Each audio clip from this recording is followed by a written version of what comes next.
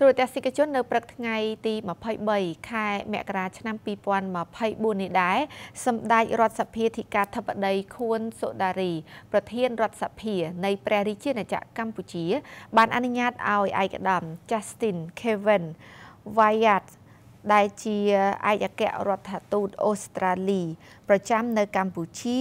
ចូលជួបសម្ដែងការគួសមនិងពិភាក្សាការងារនៅវិមានរដ្ឋសភា ជាកិច្ចដំបូងសម្ដេចប្រធានរដ្ឋសភា បានស្វាគមន៍យ៉ាងកក់ក្ដៅចំពោះឯកឧត្តមឯកអគ្គរដ្ឋទូតអូស្ត្រាលី ដែលបានអញ្ជើញសម្ដែងការគួសមនេះ ហើយសម្ដេចប្រធានរដ្ឋសភា បានរំលឹកពីទំនាក់ទំនងការទូតរវាងប្រទេសទាំងពីរតាំងពីឆ្នាំ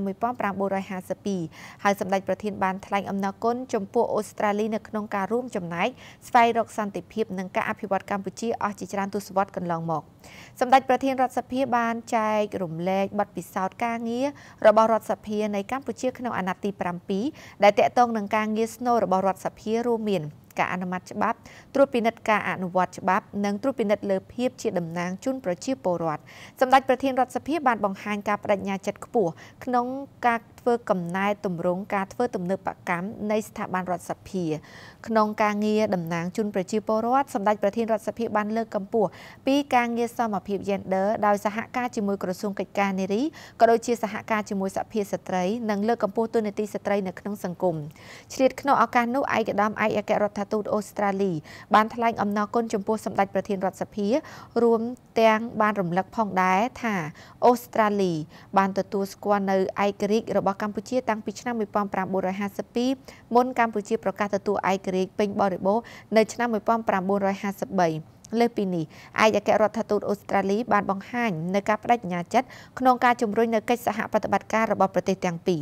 ជាក់ស្ដែងអូស្ត្រាលីបានរួមចំណែកក្នុងការលើកកម្ពស់សមត្ថភាពរបស់មន្ត្រីកម្ពុជាវិស័យឯកជននិងអង្គការសង្គមស៊ីវិលឯកអគ្គរដ្ឋទូតអូស្ត្រាលីបានបញ្ជាក់ទៀតថា អូស្ត្រាលីបានផ្ដល់អាហារូបករណ៍គិតមកត្រឹមឆ្នាំនេះមានចំនួនជាង1000អាហារូបករណ៍ស្មើនឹងចំនួនប្រជាពលរដ្ឋទៅសិក្សានៅប្រទេសអូស្ត្រាលីចំនួនជាង20000នាក់និងបានបម្រើការងារក្នុងវិស័យសុខាភិបាលវិស័យសាធារណៈនិងវិស័យឯកជនក្រៅពីនេះ ឯកអគ្គរដ្ឋទូតអូស្ត្រាលីបន្ថែមថាអូស្ត្រាលី